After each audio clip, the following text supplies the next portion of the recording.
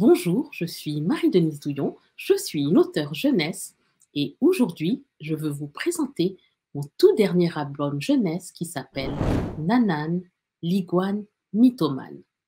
Nanan, l'iguane mythomane est un récit pour enfants de 5 à 10 ans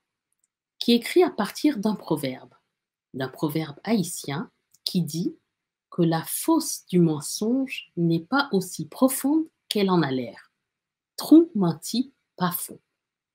Alors, c'est l'histoire d'un iguane qui raconte toutes sortes de bobards, il invente toutes sortes de mensonges jusqu'au jour où il rencontre une noix rieuse qui va le mettre au défi de révéler la vérité. J'ai hâte de vous voir et je vous invite à venir me rencontrer et rencontrer Nanan, l'iguane mythomane, à la fin octobre au Salon du livre afro-canadien, le SLAC, qui se déroule à la Cité.